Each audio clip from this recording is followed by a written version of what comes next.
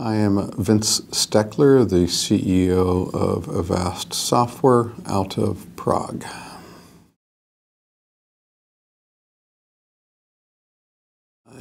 You know, people often wonder, you know, what operating system is better, what is safer, what is more secure.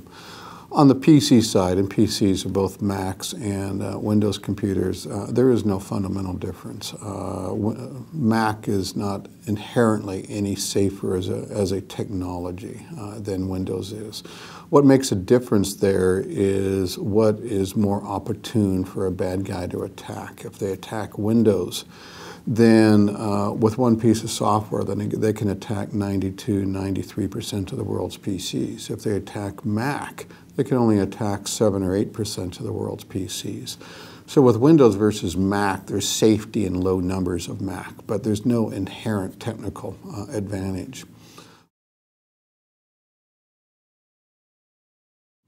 On the mobile side, it's still a, a little bit different in that um, iOS is fundamentally a closed ecosystem and all software, et cetera, comes from Apple. And a closed ecosystem is inherently safer than an open ecosystem, but of course the trade-off is uh, less flexibility. So that does make Android being uh, inherently a bit less secure uh, than Mac. Now, some of the minor platforms, such as uh, such as Windows Phone, Windows Phone is also uh, uh, much more of a closed ecosystem like Mac, and uh, has uh, the security of that. Plus, it also has the safety in low numbers. Uh, BlackBerry uh, previously had been a very popular corporate platform because of its closed environment for messaging, etc.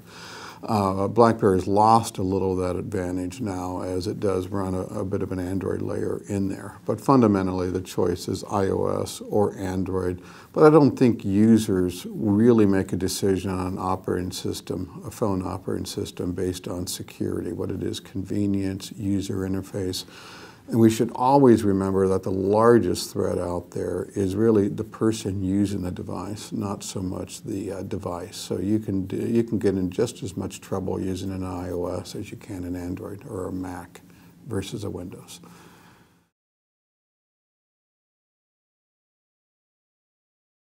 Okay, today's biggest threat for uh, a normal consumer, uh, it's a little trite, but it's the consumer uh, themselves. We have to realize that a lot of attacks are still using uh, social engineering techniques, phishing emails, uh, you know, ways of convincing a user to give up valuable uh, information.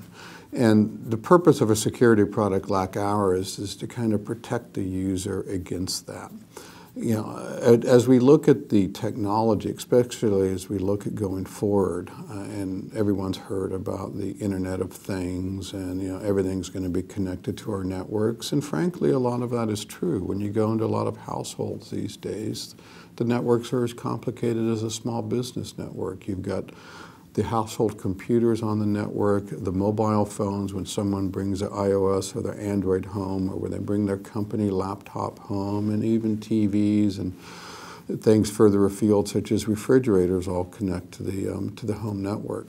So we see that the central weakness uh, in this Internet of Things is going to be that home router, that home gateway, the thing that connects everything together and basically doesn't have any security on it.